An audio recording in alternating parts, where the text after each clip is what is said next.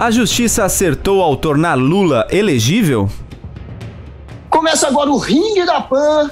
Como sempre, a distância, um ano já que a gente está nessa, por conta dessa pandemia louca, descontrolada, e o assunto tem um pouco a ver com isso, já que vamos falar dele, Lula, que é um novo nome aí para se candidatar na próxima eleição, já que agora ele de fato é elegível. E uma das bandeiras que ele quer carregar é essa questão da vacinação, como a gente viu no primeiro é, momento em que ele pôde realmente falar com o povo ali, em que ele fez um, uma espécie de comício do Lula de novo. Então vamos falar da decisão do STF, do Edson Fachin e depois é, referendada lá pelos outros ministros, eles estão inclusive votando a suspeição do Moro de tornar Lula legítimo. Bom, é, a gente sabe que o Lula ele passou anos e anos, cinco anos para ser exato, levantando essa tese de que o caso dele não deveria ter como competência a é, jurisdição de Curitiba, portanto, o juiz Sérgio Moro. Isso foi uma coisa completamente forçada desde o início. Todo mundo sabia disso, o Kim sabe disso, até o Kim sabe disso. Quantas vezes o PT, todo mundo, que vários jornalistas, que são jornalistas que estavam ali apurando essa história toda, eles já bateram nessa tecla. É, foi completamente forçado deixar na mão do Sérgio Moro essa questão do Lula, porque desde o início eles sabiam que o Sérgio Moro era alguém que iria sim condenar. O Sérgio Moro diz agora, Gilmar Mendes, diz agora parte do STF que está votando a suspeição dele e, e que deve passar essa suspeição, tudo indica que realmente vão é, concluir pela suspeição do Moro no caso do Lula. Todos eles dizem que sim, que o Sérgio Moro e que os procuradores foram movidos por ambições políticas e que eles extrapolaram e atropelaram vários limites constitucionais que acabaram melando aí todo esse jogo. Se o juiz era do jogo era o Sérgio Moro, se o Sérgio Moro era o juiz de um jogo, né, como a galera gosta de fazer essa analogia, o juiz roubou, o juiz roubou a partida. O juiz combinou com o outro lado, que eram os procuradores, como jogar, combinou com o outro lado quais provas incluir. Inclusive, já vazou aí agora nessa nova leva de mensagens da Vaza Jato, é, é, mensagens que apontam que eles, inclusive, esconderam provas de que o triplex não seria da dona Marisa, que a, que a dona Marisa estaria recusando receber apartamento ali naquele local onde o triplex depois foi, é, segundo a acusação, presenteado ao Lula. É, teriam provas, eles teriam omitido provas que eram prejudiciais à tese que eles levantaram desde o início de que o Lula era um bandido e ponto final. E forçaram também Atibaia. Atibaia Gabriela Hardt, a juíza que condenou ele lá, ela inclusive copiou e colou trechos da sentença do triplex de maneira tão amadora que ela colocou em risco todo toda a conclusão dela, todo o julgamento dela, que, mo que mostra que está contaminado e que não foi uma coisa bem feita. Ela chegou a copiar coisa que não tinha a ver ali com a Atibaia. Foi uma coisa realmente amadora desse nível, quem não sabe dessa história vai atrás. Então, assim, o que ficou configurado é que eles precisavam, de fato, apelar e tirar o Lula antes da eleição passada. Eu não estou dizendo que o Lula é inocente. Os fatos que foram apurados sobre o Petrolão que podem sim... É, melar e bater e complicar a reputação do Lula, eles devem ser apurados por uma por um juiz neutro, por um juiz independente, que é o que vai acontecer agora. Vai parar no Distrito Federal e vamos ver se é isso que vai acontecer. Já deveria ter parado antes, cinco anos atrás, mas jogaram na mão do Moro já nessa intenção. Foi só porque sabiam que o Moro ia condenar, tinham que deixar ali. E o Moro jogou junto com os procuradores é, um joguinho, é, um teatro, fez um teatro, porque todo mundo sabia que ele ia condenar desde o início, a intenção era essa, e ele ajudou os procuradores em todo o processo, como é, esconder prova, criar, criaram um depoimento, aquela história história do reitor da universidade que se suicidou por uma acusação que se mostrou leviana, inclusive uma das, das provas que sustentava a acusação é um depoimento que nunca existiu, chegou a esse nível a história. Então, galera, o Lula merece sim um julgamento justo. Eu não estou dizendo que ele é inocente, mas ele merece um julgamento justo até para a gente saber se ele é ou não uma pessoa honesta. Mas vai lá, Kim, eu sei que você vai despejar todo o seu antipetismo agora. Te conheço, vai lá. Não, vou, vou despejar aqui os fatos, né? Pelo menos é bom que você reconhece que a eventual nulidade processual não significa que o Lula seja inocente, né? Que os fatos não mudam uh, em razão do processo, né? O processo,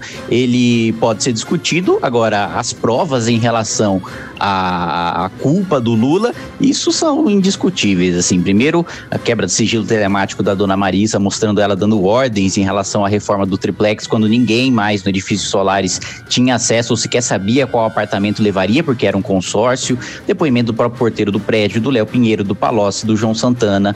É, mesmo a quebra de sigilo também é, é, telefônico do Fernando Bitar, que é quem oficialmente tinha o sítio, mas ele dizendo que não, não, não ia, que não frequentava, e, e mesmo relatórios do Gabinete de Segurança Institucional, que faz a segurança do presidente da República, mostrando que havia presença frequente do segurança do presidente da República dentro do sítio, que os móveis haviam sido escolhidos por ele, que havia um quadro dele é, no meio da sala é, com o rosto dele, que é um negócio que você não coloca na casa dos outros, enfim, é, é provas mais do que robustas, não só né, da existência dessa do, do, vínculo né, da dona Marisa e do Lula com o triplex e com o sítio, mas também né, da, de ser contrapartida é, em troca de favorecimento daquele cartel de empreiteiras que ficavam negociando entre si as licitações. Então, uh, independentemente do processo que a gente vai discutir, eu vou entrar nisso é, logo em seguida, uh, as provas são muito robustas e ainda que o Lula seja jogado em Brasília, acho muito difícil que haja uma absolvição. Acho muito difícil. Nenhuma prova foi declarada nula, né? Nenhuma prova do processo foi declarada é, ilegal, né? ou seja, todas as provas que foram usadas em Curitiba podem ser, seja aproveitadas, seja coletadas novamente, as testemunhas podem ser ouvidas novamente, é, é, é, a quebra de sigilo telemático, telefônico, todas as mensagens podem ser utilizadas novamente, porque não houve reconhecimento de nulidade processual.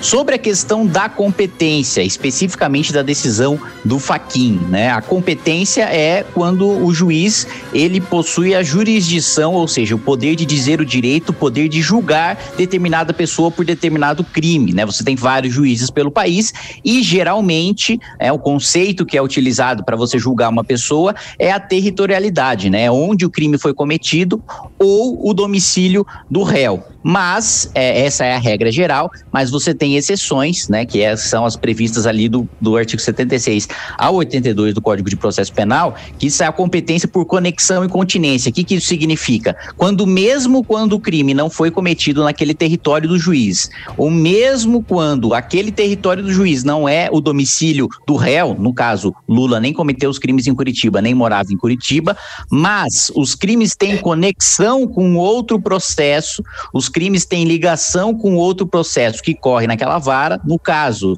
o escândalo de desvio é, é de dinheiro da Petrobras, né, de corrupção, de lavagem de dinheiro da Petrobras, o mesmo juiz julga por conexão e por continência. Essa questão da competência, que é uma questão diferente da suspeição, já foi julgada pela segunda instância, já foi julgada pelo STJ, já foi julgada pelo STF, inclusive, em caráter liminar, em habeas corpus. O Lula tenta emplacar essa tese já há algum tempo e o próprio STF já rejeitou essa questão da competência por entender que o Código de Processo Penal é claro dizendo que se tem conexão entre os crimes, não precisa ter sido cometido naquele território do juiz. Mesmo entendimento do TRF4, que é o mesmo entendimento do STJ, que é o que está escrito na letra da lei. Então, essa tese da competência não se sustenta, né? Foi uma coisa que o Faquin tirou da cartola. Dizem aí alguns veículos de imprensa que foi para tentar impedir o julgamento da suspeição do Moro, fazer com que o Moro não seja julgado é, pela suspeição, mas essa questão da competência realmente é muito frágil.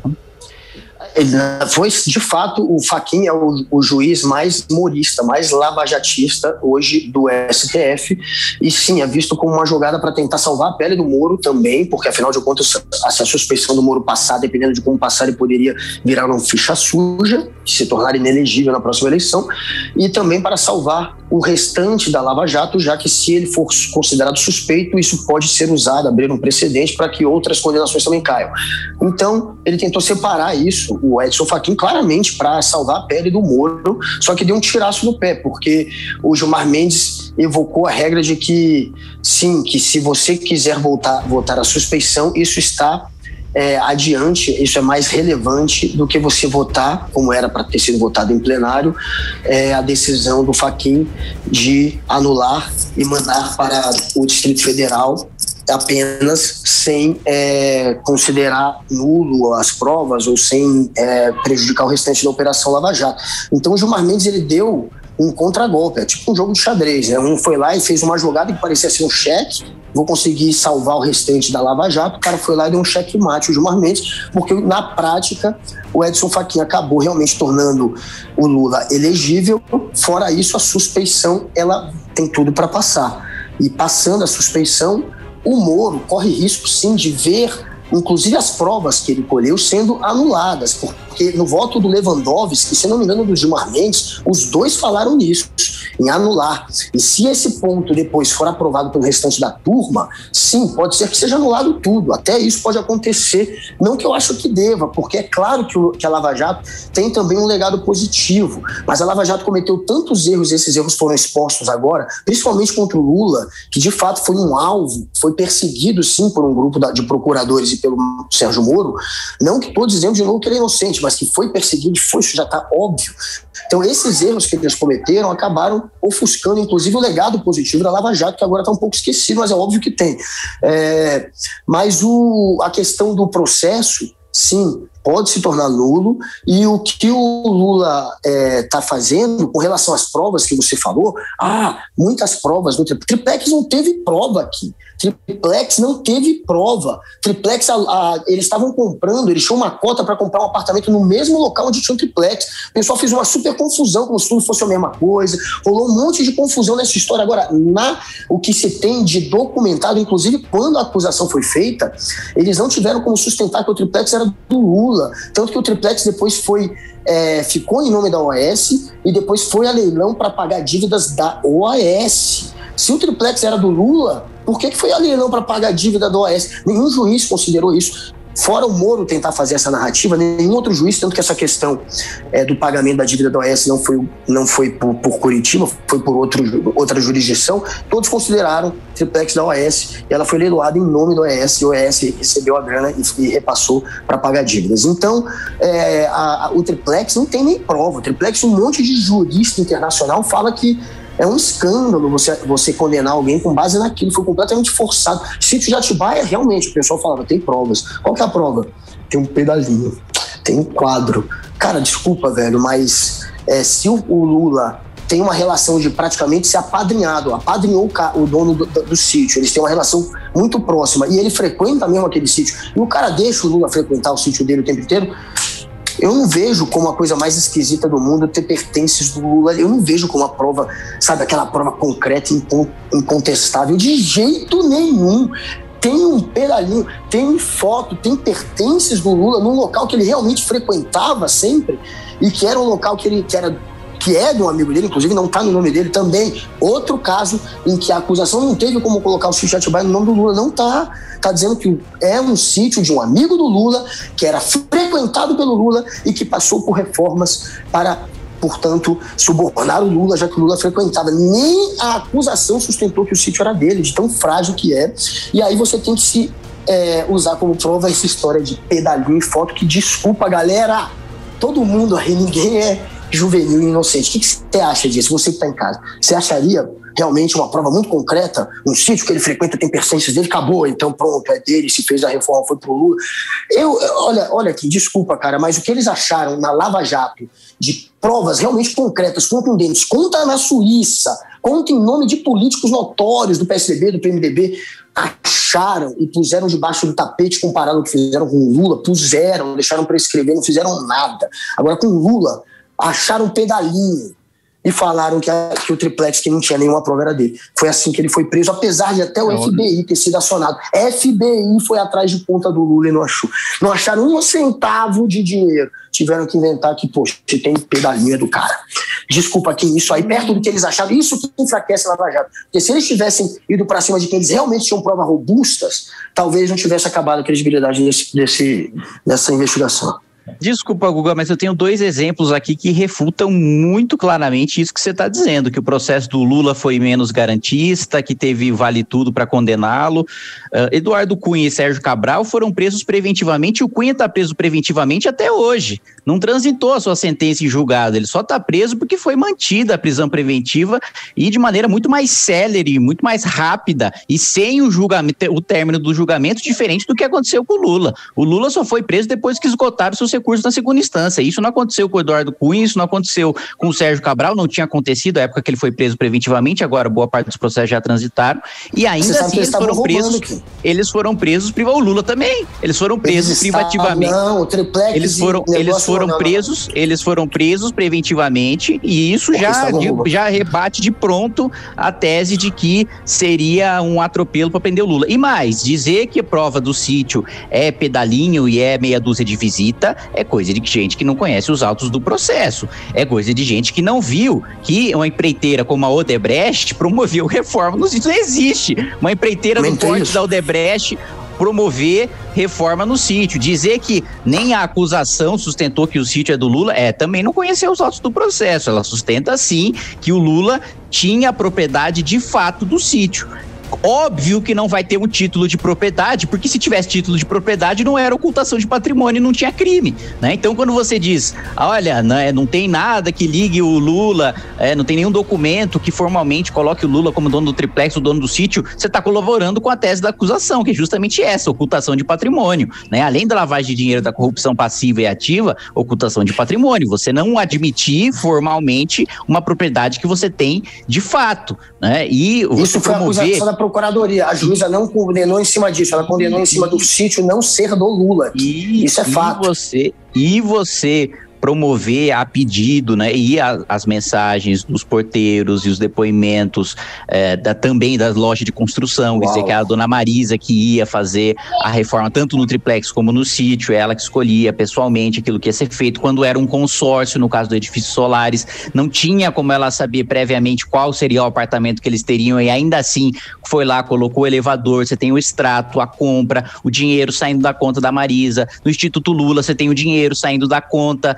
da Odebrecht e indo 4 milhões para o Instituto Lula, sem que houvesse a prestação de serviço, sem que a palestra jamais tivesse existido. Desculpa, as provas são robustas. E tem uma confusão também que você faz sobre declarar, sobre anular as provas. Uma coisa é anular, outra coisa é decretar a nulidade. Anular significa que as provas não podem ser utilizadas naquele processo da vara de Curitiba, o que não significa que elas não possam ser coletadas novamente no novo processo em Brasília.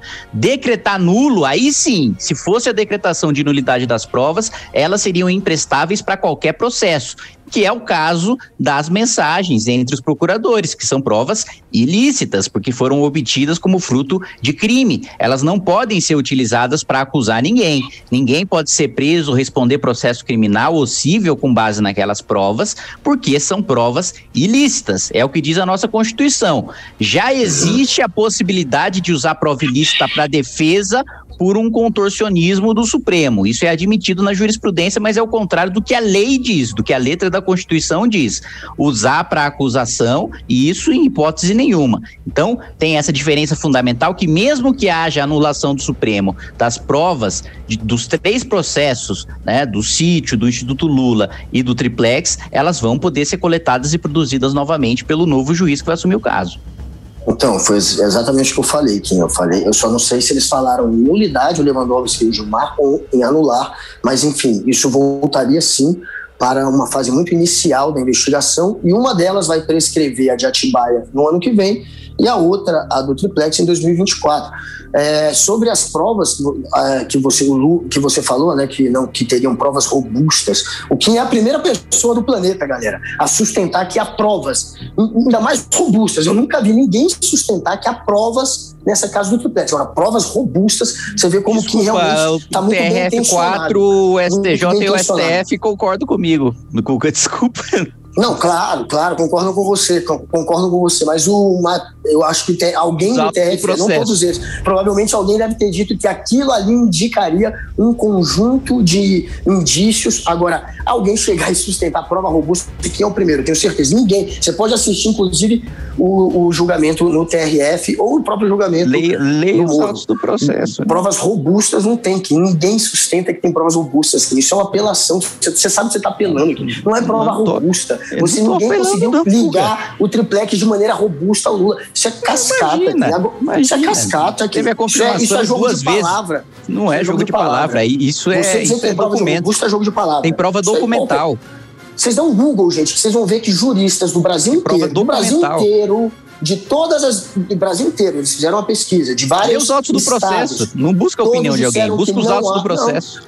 Olha, eu, eu, buscando os autos do Leia processo, a única só. maneira de dizer que isso é prova é tentando fazer isso que você está fazendo, racionalizando em cima de indícios de dizendo, opa, esses 4 milhões eu acho que não teve a palestra, opa, isso tudo não é prova. Não é prova. Você está racionalizando que claro dizendo que, que ela é escolheu azulejo. O, o, primeiro, que ela não escolheu, como você Até disse. Até depoimento pouco, é elevador, prova, Guga. Elevador, aquele prédio do elevador, o elevador não foi, não foi, não foi. Ah, Dona Marisa que escolheu o elevador, isso foi outra castrata de criar. Não é verdade. Ninguém conseguiu de fato ligar ela aquele triplex. Ela foi para lá, ela, part... ela entrou naquele local porque eles tinham conta ali. Não estou dizendo que é impossível eles terem oferecido o triplex. O Lula, inclusive, admite que chegaram a levar o Lula até lá para o triplex uma vez para oferecer o triplex para o Lula. O Lula subiu lá uma vez e o porteiro diz que o Lula subiu uma vez, não tem como dizer que subiu 100 vezes, como faria um possível dono. E o Lula subiu lá uma vez e recusou o triplex. Isso o Lula admite, isso aconteceu, mas enfim, é, querem ligar esse triplex num prédio onde o Lula estava comprando já um apartamento de maneira legal, tanto que depois ele processou a OAS para receber esse dinheiro desse apartamento quando ele quis reaver, e a OAS estava é, quebrada por causa da Lava Jato, ele teve que processar. Então o Lula ele tinha já um motivo para estar tá ali e ofereceram um triplex para ele, ele não quis, mas como ele passou por lá, ah, foi ela que escolheu as azulejos, isso é prova robusta para o Kim. Mas, enfim, galera, não tem mais tempo, a gente estourou, tenho certeza que a Andresa está indignada.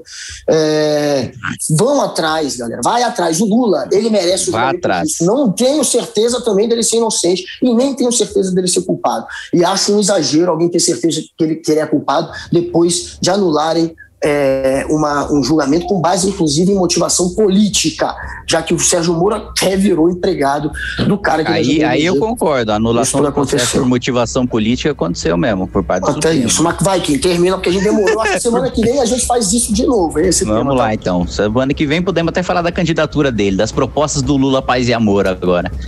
É Boa. É isso aí, valeu, gente. Até o ringue da semana que vem. Valeu, Guga. Um abraço. Be beijo, be beijos do tio Lula aí pra você, Gugão. que eu já sei que você vai assumir ministério no governo Lula.